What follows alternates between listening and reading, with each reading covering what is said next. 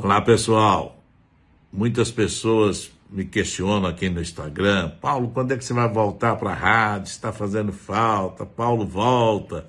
Eu queria dar uma satisfação a essas pessoas. Eu gosto muito de vocês. Realmente, eu passei a, quase a vida toda, 55 anos, falando com vocês, entrando na casa de vocês, né? E a gente acabou se gostando. Eu sei que vocês gostam de mim, mas eu também gosto muito de vocês, muito, muito. Então eu tenho um recado para vocês. Eu não posso continuar nessa, vou, não vou, faço, não faço. Então eu queria hoje comentar sobre é, esse carinho de vocês, esse pedido de vocês. Volta, Paulo, volta, Paulo. Eu queria falar sobre isso hoje, tá? Eu não vou voltar mais para o rádio de São Paulo. Não, não vou voltar. É, eu tive alguns convites até de outras emissoras, de companheiros meus de, de emissoras de rádio, e mas no fundo, no fundo eu quero dar uma parada, certo? Eu sinto falta de vocês realmente, mas o rádio para mim hoje não é mais aquilo que eu imaginei, né? Que eu trabalhei, que eu não é mais o mesmo rádio sabe? Ele não tem muito comercial, muito venda disso, venda daquilo. Você fala duas coisas e vende três, é o tempo todo, sabe? Você não pode falar tudo que você gosta. Eu trabalhei com muita liberdade em todos os lugares por onde eu passei. E o rádio hoje não é mais o mesmo. Não sei de quem é a culpa, se é a culpa é de diretoria, de... não sei, não, não é de diretoria também. A culpa não é de ninguém, é da essência do rádio. O rádio mudou, mudou e eu não quero fazer parte dessa história mais do rádio, principalmente é, essa história que se apresenta hoje, né? Entendeu? A imprensa, de um modo geral, de uma, não só o rádio, a imprensa, de um modo geral, está é, deixando muito a desejar, muito a desejar. Eu não estou feliz com essa minha imprensa, com esses jornalistas, até com muitos radialistas também, não, né?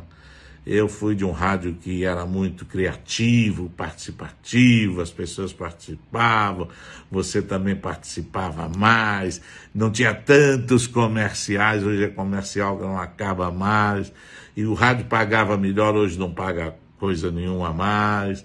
Então mudou muito. Está na hora de eu parar. Eu tenho 55 anos de rádio, eu faço parte da história do rádio. Está sendo lançado agora o livro 100 anos de rádio no Brasil. Eu faço parte desse livro, que eu, eu já estou na história do rádio, já cumpri o meu, a, meu papel, a minha missão. Ah, agora chega, não quero mais não. Ah, não quero mais não.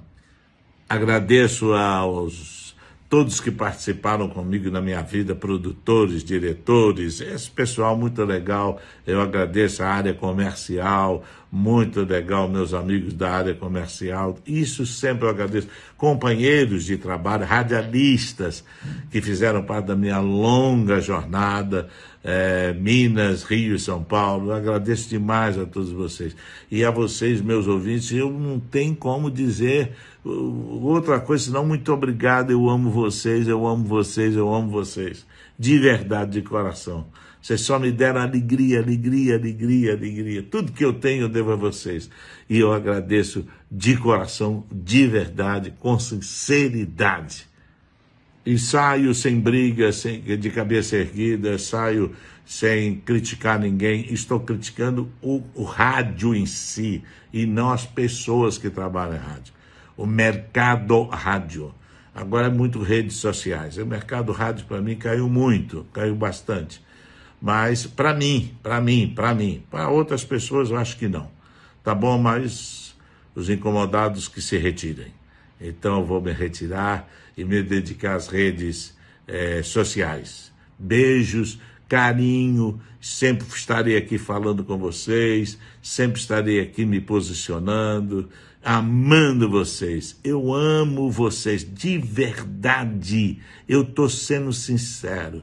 Tudo que eu tenho eu devo a vocês. Muito obrigado. De verdade, com sinceridade, de coração para coração.